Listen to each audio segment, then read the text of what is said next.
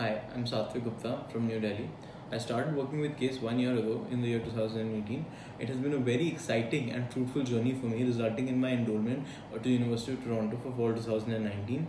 Uh, under the guidance of Vikram sir and Aparna ma'am, I have been able to go through my application process without any undue difficulty.